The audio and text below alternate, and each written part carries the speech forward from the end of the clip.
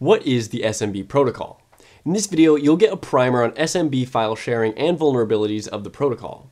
SMB stands for Server Message Block, and this protocol enables your devices to communicate with remote computers or servers. In other words, SMB lets you share files. Let's say you're sitting in front of your laptop, using a printer connected to the company's computer.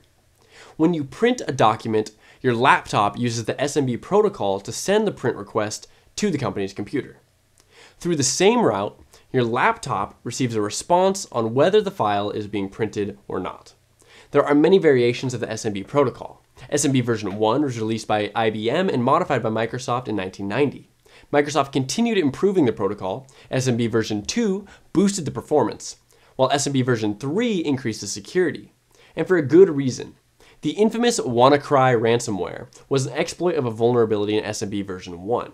WannaCry infected hundreds of thousands of computers and encrypted their data. Users who wanted their data back had to pay a ransom in Bitcoin. If you're using an older computer, you should make sure to disable the SMB version 1. Keep your devices updated and use the newest version of the protocol. For more information on all things online security, please subscribe to our YouTube channel.